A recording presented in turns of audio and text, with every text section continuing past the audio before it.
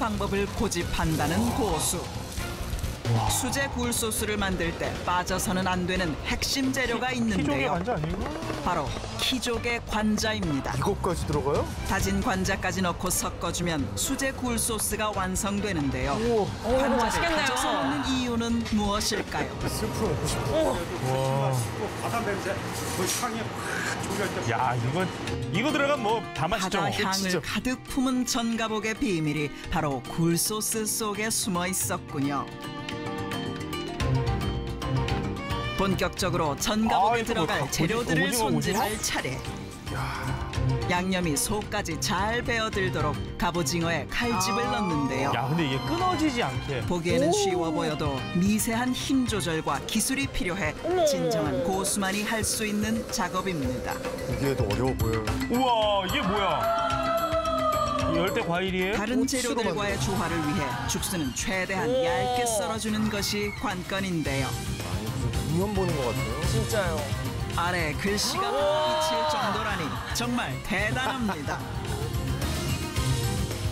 칼 끝에 42년의 경력이 모두 녹아있는 듯한데요.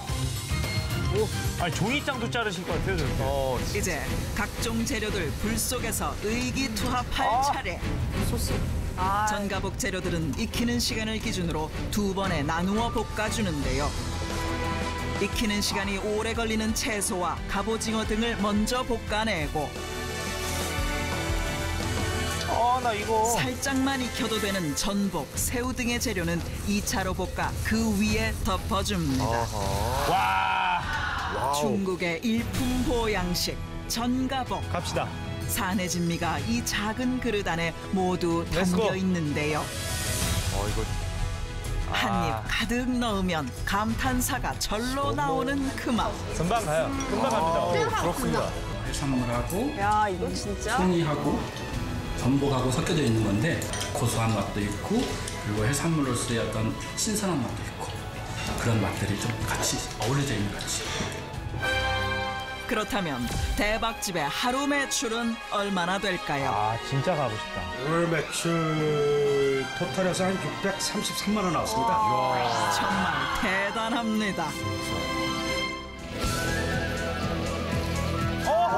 정답 이거. 없지 않게 식객들에게 사랑받는 인기 나 메뉴가 이것도. 또 있었으니 바로 나 이것도. 중화 요리의 터줏대감 탕수육인데요. 아예 생. 오, 포커스 나오는구나. 야 박수 나오죠 박수. 고기에 반죽옷을 입혀 바삭하게 그래? 튀겨내는 아, 5천만 진짜. 국민의 메뉴. oh my God. 하지만 중식당에서 맛볼 수 있는 흔한 탕수육이라 생각한다면 큰 오산입니다. 아, 어떡해요. 고수의 탕수육에는 어디서도 볼 수 없었던 비법들이 담겨 있는데요. 아 그래요 또? 한 번 맛을 보면 단골 손님이 되는 건 시간 문제. 네. 진짜 가고 싶네요. 보통 탕수육 먹을 때 부먹이나 찍먹이나 이렇게 많이 대립을 하잖아요. 근데 여기 오면 그게 되게 무의미한 전쟁이에요. 그냥 셰프가 부어주는 게 세상에서 제일 맛있어요. 근데 이렇게 부어서 나오면 눅눅하거나 그러지지 않아요? 저도 처음에 걱정했는데요. 다 먹을 때까지 바삭하고 정말 쫄깃해요. 소스가 부어져 나옴에도 오래도록 바삭한 탕수육. 쫀득해 보여요. 과연 그 비밀이 무엇인지 고수의 행동을 더 지켜보기로 했습니다. 바삭하기 위해서 그래서 100% 감자 전분만 사용해요. 단단한 감자 전분을 부드럽게 만들기 위해 반드시 거쳐야 하는 작업이 있습니다. 청주와 달걀 흰자 등을 넣고 어르고 달래듯 골고루 섞으며 반죽하는 건데요. 얼마 지나지 않아 단단했던 감자 전분이 생크림처럼 변했습니다. 정말 놀라운데요. 이야 어떻게 이렇게 되네요? 사실 이 부분에 가장 중요하고 탕수의 맛을 좌우하기 때문에 이 방법을 30년 동안 사용했어요. 100% 감자 전분으로 만든 명품 튀김옷. 고수의 탕수육은 역시 옷부터가 남다릅니다.